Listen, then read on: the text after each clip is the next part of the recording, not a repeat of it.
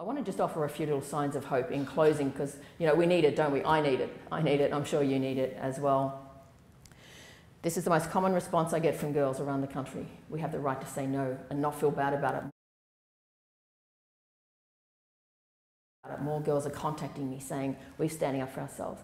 Just this week, just yesterday, I was at a school, two days ago, at a school here in Brisbane, and some girls had heard me speak a year ago, and they, they told me how they'd put into practice the message, uh, the, what they'd learnt from what I presented to them. That's very encouraging. These young men deciding to resist uh, pornographic scripts, the plan of the sex industry for their lives. Uh, this young man, 16, in a Tasmanian public school, uh, stood up and confronted his peers who were laughing at the rape jokes in the rape t-shirt section.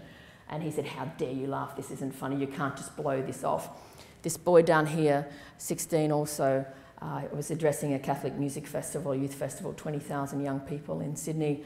And he stood up at the end of my presentation and he said, I just want to apologise to any young woman here who's ever been hurt by a male. The place went ballistic. Girls were applauding, cheering, crying, asking for his phone number.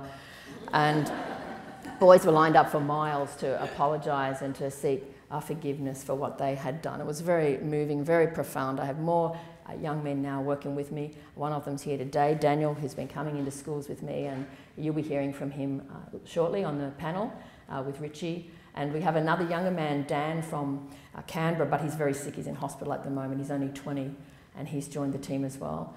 And uh, we have another young guy here today as well, Tom. Now, Tom just contacted me a week ago, said, I want to get involved in this issue. I want to try and influence my peers. I know porn's destroying their lives and hurting them. What can I do? I said, Can you get to this conference? And he said, Yes. So Tom's here, he's only 19.